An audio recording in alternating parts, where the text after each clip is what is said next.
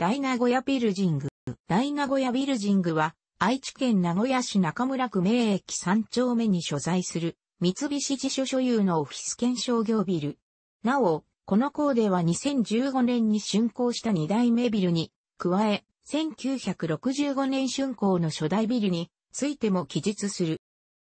2009年12月15日、三菱地所が初代大名古屋ビルジングと隣接するホテルロイヤルパークイン名古屋の一体的な建て替え計画を発表。地上34階、高さ180メートルの超高層ビルとなる予定で2012年に着工、2015年の竣工を目指していた。これに伴い初代大名古屋ビルジングは2012年9月30日をもって閉鎖された。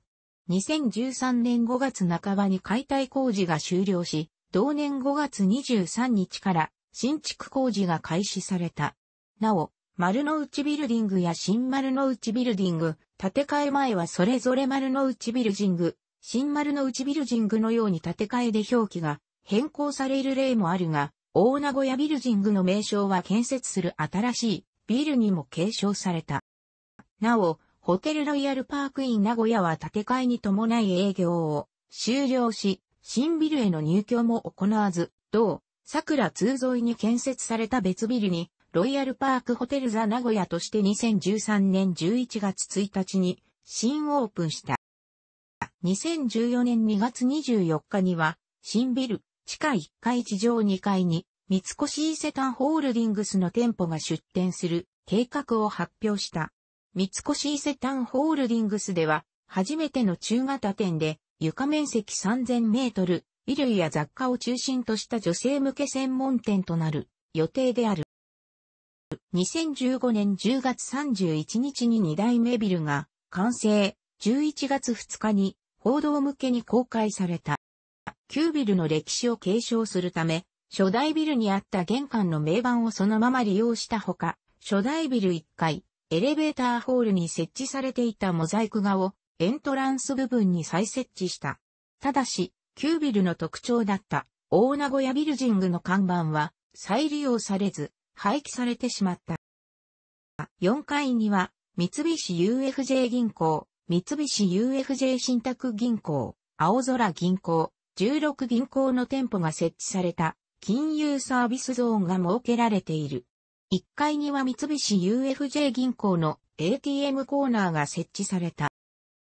2016年3月9日の商業施設の開業に向けて、2015年12月9日、名古屋発、東場、名駅前発東場を含む74店舗が集積する商業施設が入居する大名古屋ビルショップスレストロンツとショッピングゾーン、大名古屋ビルライフスタイルセルビセスの14店舗の各テナントが発表され、2016年1月22日には大名古屋ビルショップスレストロンツに入居する伊勢丹ハウスのテナント詳細、ブラドラインナップが発表された。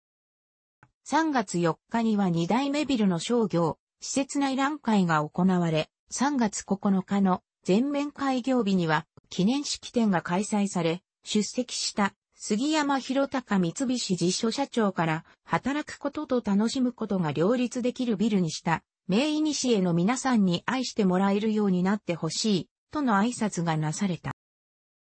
ビル低層部2から4階にあるファサードガラスパターンは2020年夏季オリンピックのエンブレムを手掛けたデザイナー所浅尾によるものである。東海道新幹線開通後間もなく、名古屋駅桜通り口正面に竣工して以来、その存在感と特徴ある大名古屋ビルジングの看板が掲げられているため、全国的に知名度の高い建物の一つとなっている。建物の形状よりも名称が知名度アップに貢献している恒例であるが、名古屋市民の間では有名であるものの、全国的に有名なビルであるという意識は低いと言われる。古くは伊勢湾台風が起こった1959年に遡る。当時東京駅周辺のビル管理を手掛けていた三菱地所は、かねてから地方進出の機会を伺っていた。そんな中、当時の三菱地所社長、渡辺武次郎が被災直後の名古屋を訪れた際、その被害の惨憺たる状況から、地方進出の第一号として、名古屋駅前に大型ビルを建設することを決めた。1965年5月の観光記念式典で配布されたパンフレットには、伊勢湾台風災害のお見舞いに参りました時であります。名古屋駅に着く前、汽車の窓から見ますと、離災後1ヶ月を経ているのに一面に、海のようにまだ水が溜まっており、人々がトイタンに乗って家から出入りしておりました。中略一つここに、耐震不燃の高層ビルジングを決意いたしたのでありま、と、その経緯が記されている。全体の完成は1965年であるが、1962年にビルの正面中央部分、1963年にビルの左側部分、1965年にビルの右側部分と3段階に分けて完成させている。かつて屋上左側には象徴的な休憩回転型ネオンサイン、広告種、森永製菓、コカ・コーラが備え付けられていたが、2007年秋頃に撤去され、2008年4月からは、トキプレミアムアウトレットの看板設置されていた。屋上右側には六角形の広告、広告種、三菱電機も取り付けられたがこちらは休憩広告より先に撤去され、後に山陽商会の広告が設置された。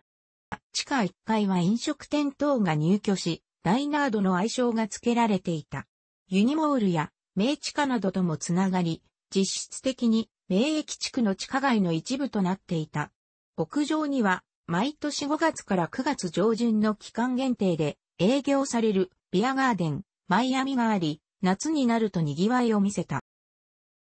2004年度都道府県地価調査では、大名古屋ビルジングが9.9%上昇して、商業地の上昇率において全国1位を記録した。